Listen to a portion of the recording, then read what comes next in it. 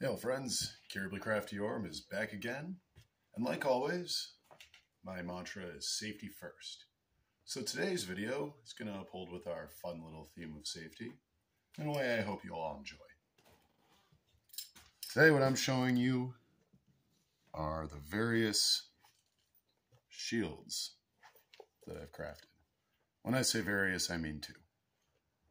But um, It'll be a little interesting. Uh, one is human. It's this one. And then the next one I'm going to show you is Dwarven, so you can kind of see that comparison for the fantasy fans out there. And uh, for practical reasons, I'll explain what they're made of and um, the subtle differences as one of them is for uh, one of my daughters who's right-handed and one is for one of my daughters who is left-handed. Um, also, they are meant for different fighting styles. I'll explain that too as briefly as I can.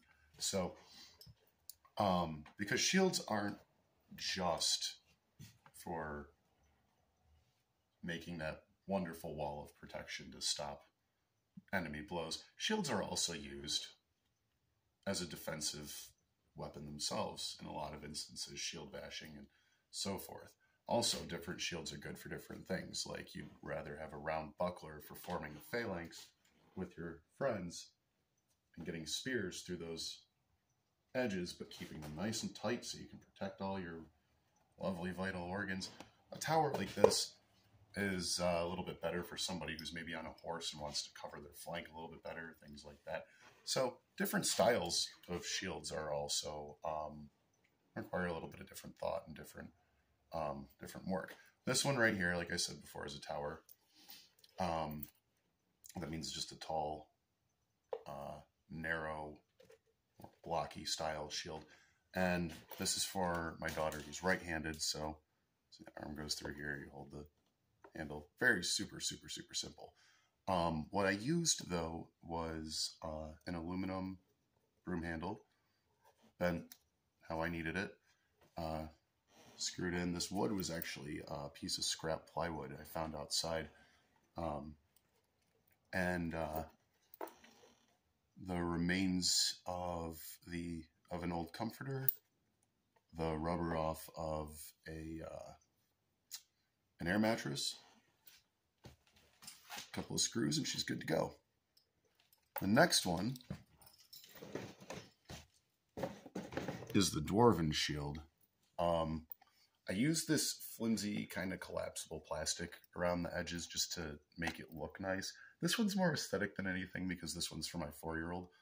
Um, and it's uh, it's fun for her to carry with the wooden swords, but even at her age, it's a little heavy. So I did everything I could to just make it light. It's not actually supposed to, you know, stop any damage, so it's it doesn't have to be made out of sturdy material.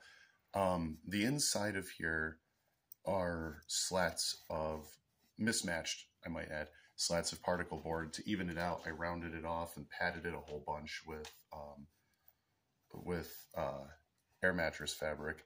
And that way too, you know, four year olds can be a little reckless. I don't want her to, you know, like smack her brother with it or fall on it or anything like that and get hurt. Safety's always first. Um, I used the remains of a clean shop towel but uh, usually when I turn them into rags, I just rip them off in sections instead of trashing an entire towel.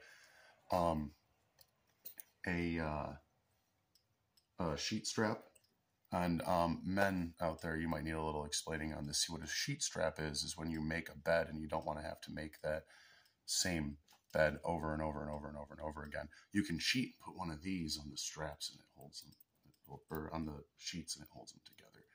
Um, but uh, all joking aside, yeah, more aluminum for the handle. I love my nice, pliable, bendable aluminum tubes.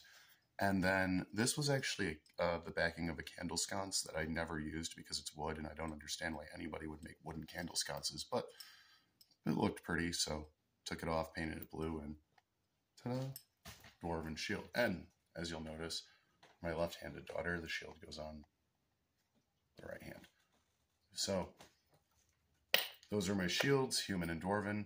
Um, like always, thank you guys tremendously for watching my video. I hope you enjoyed this one. Um, like ratings are appreciated, but even more so is your opinion. So feel free to leave as many comments and suggestions in the comment section down below. You know where to find it. Um, thank you again. Uh, safety is always first, but no matter what, have fun. Thanks for watching.